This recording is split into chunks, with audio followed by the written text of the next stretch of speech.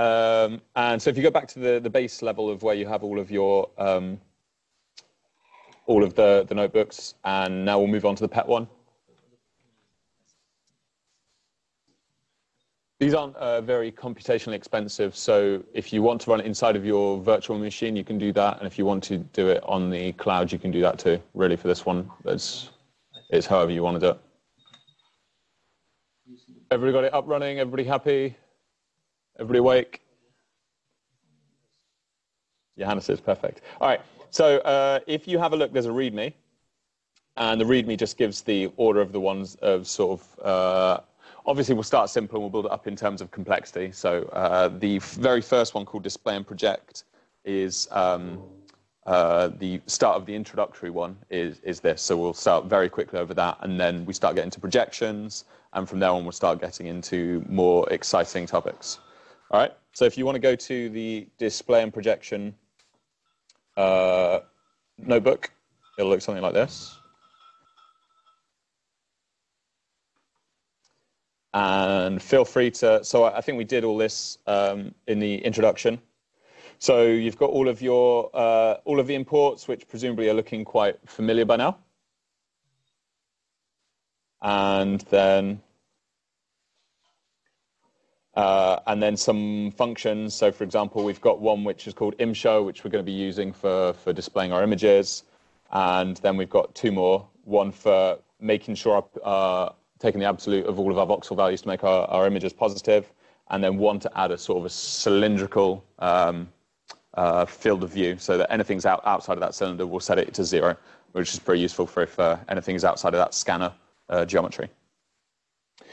Anyway, uh, then we'll CD into where we have all of our, our um, pet data.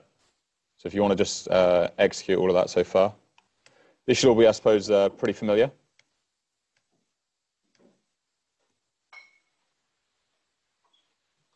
and with any luck, it should be working for you guys.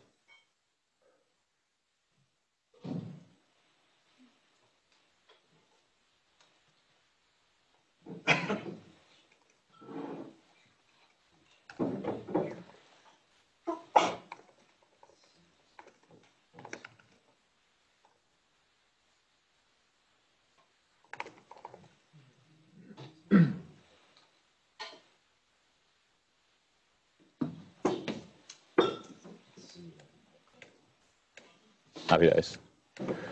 All right, so uh, now we're into the correct uh, folder, and uh, and what we're going to do here is we're going to um, we're going to create a temporary folder called a working folder. That way we can mess around with whatever we want, and then once we delete it, we're back to, to where we started from. Yeah. And then, so all of this stuff you should have seen earlier. Does it all look pretty familiar? It looks pretty easy. Yeah. So uh, open an image. It's going to be pet. The reason why I was here earlier, we said import sirf.STIR as pet. And for those of you that saw my presentation yesterday, we said the, our motivation was to make packages interchangeable.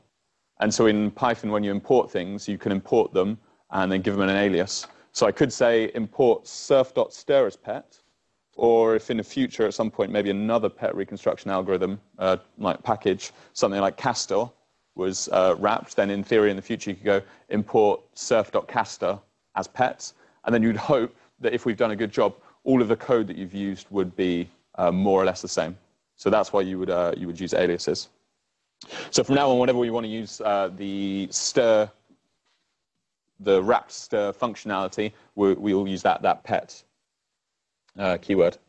So uh, create me an, an, image, and it's in a it's in the uh, the alias pet, and it's going to be you know it's a file called emission whatever. Uh, we've got a mu map, which is going to be another image. So um, STIR uses uh, what's called the interfile format often, and for an interfile format, a uh, the image and the the metadata and the volume are stored as two different files.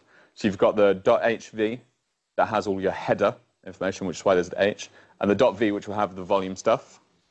And then for the acquisition data, so for your sinograms, you'll have a .hs, which is the header for the sinogram, and the .s, which is the raw data for that. So um, if you see anything that's uh, labeled HV, it's probably an image, So you, you should use pet.image data. And if it's .hs, then it's probably a sinogram. And so you want to say um, pet.acquisition data. All right? So if you want to execute some of those cells, here you can see that you're calling help on the image data. And uh, does this all, did, we've, we've so, so far we did all this in the introductory bit, right? We've done all this, right? Yeah. So you can just you'll see all of the methods which are available to you. You can do filling, you can get uh, empty copies, you can uh, do all sorts of stuff. All right. You can even get the the voxel sizes. Um, so we'll skip over this a little bit. Here you're doing some maths. You can multiply your images by certain values, and then you can see that the value is going down. You can either do it as where you say, get me it as array, and then you're messing around with it as a NumPy array. Or if you're working in MATLAB, you'd be working with sort of the uh, inherent MATLAB object, and you could do the multiplication that way, or the addition, or whatever you want that way. Or equally, you could leave it as the image data, so you could leave it as the wrapped object, and you could do your maths on it that way. So this, this, these couple of lines are just to show you you can do it whichever, which, whichever way you want. And then we use that imshow method that we had earlier, that we defined earlier for showing our images. All right. And then I'm saying, get me my voxel sizes, tell me what voxel sizes you are. All right. So I think that's where that one stopped. And so now we get into forwards and backwards projection. And you'll have seen it a couple of times already. For that, we use um, in SIRF, we use the terminology acquisition model. The acquisition, model is the, the object which is capable of doing all the forwards and backwards projections. And so I have to tell it which particular type of acquisition model I want it to use. Well, I want it to use the ray tracing matrix. Uh, Chris talked about all the, the ray tracing matrix and the, uh, the lines of response and, and that sort of stuff. And then the last thing I need to set up is a, um, is a, is a sinogram to tell it, if I'm going to do a forward projection, I need to tell it what that, the form I want that projection to look like. And so to do that, I could use a template. I could use a real sinogram if I had one. In this case, I don't have one, so I'll just use a template where it just has all the information of um, the metadata that I want it to project into. All right. So once that's all set up, you're good to go. And you can do your first forward projection. So here I'm saying uh, acquisition model, do me a forward projection. And I want you to forward project this image. And we'll end up with uh, acquired data, which is of the form. Can anybody tell me?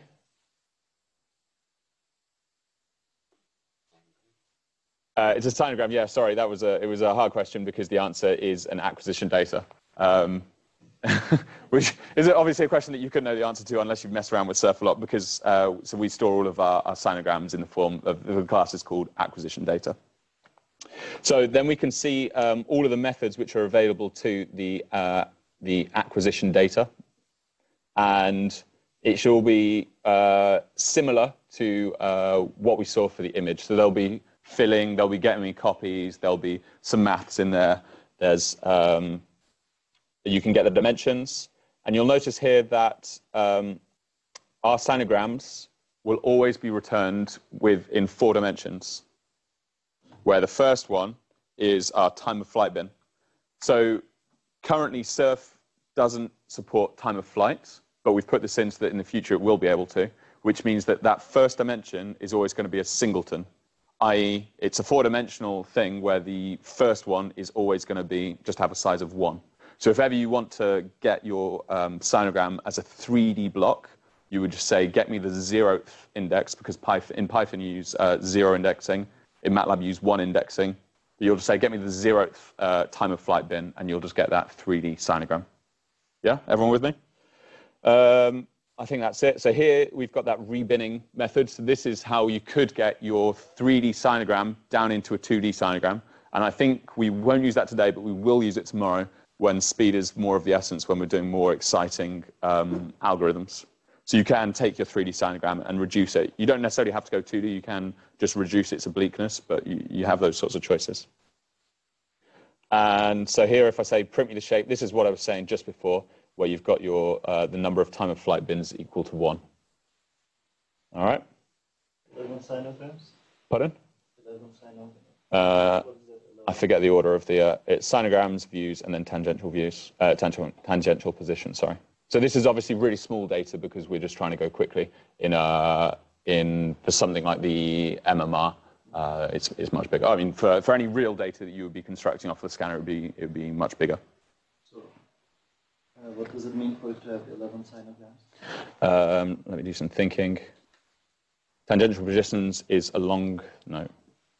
The, the tangential position is the distance of the line with respect to the center. Mm -hmm. Views is the angle. Mm -hmm. And sinograms is a mixture of stuff.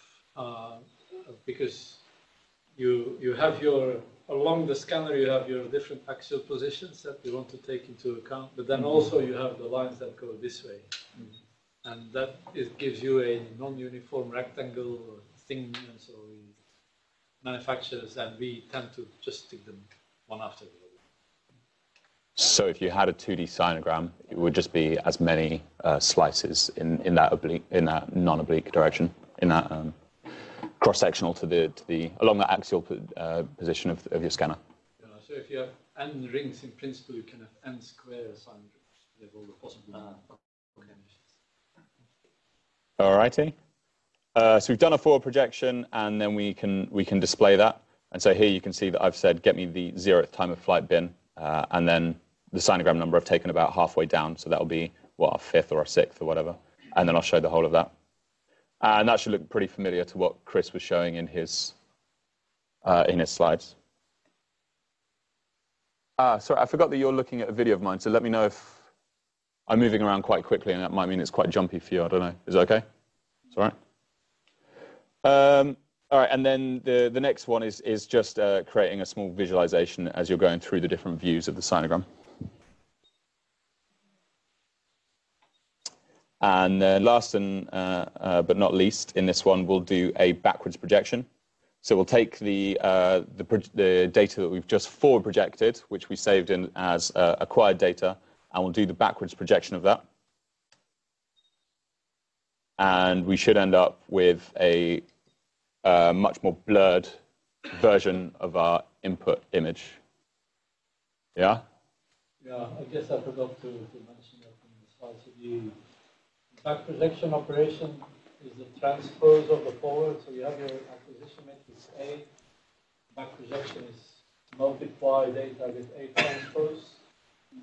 And that comes when you do the MLEM formulas, you have it in there, and any, any operation in as well. That operation is in there.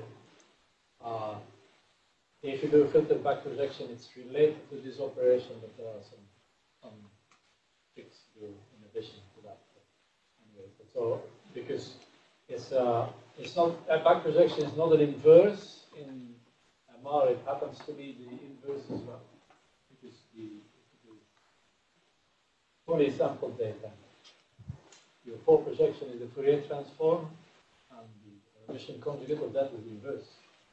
That's what impeded is the line integral, and the back projection of that is some put everything over that line thing again, so everything you need to Correct. You scroll just a little bit up. So I, I noticed this is still with the, with, I guess with the old data. Uh, just more. If you so the movie shows you this is the top of the brain that we have only in the data, not the whole brain. And you sort of see yourself rotating around it. If you maybe can convince yourself that you can see that, you have to. You could do that exercise with the larger data tomorrow. Sure.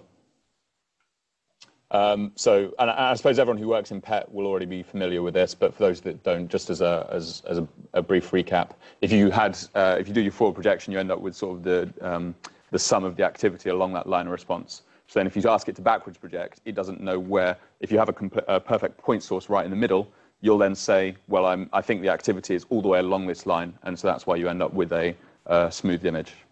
Yeah? Good. So that should be fairly easy and straightforward. Everyone with me so far? Yeah? Great.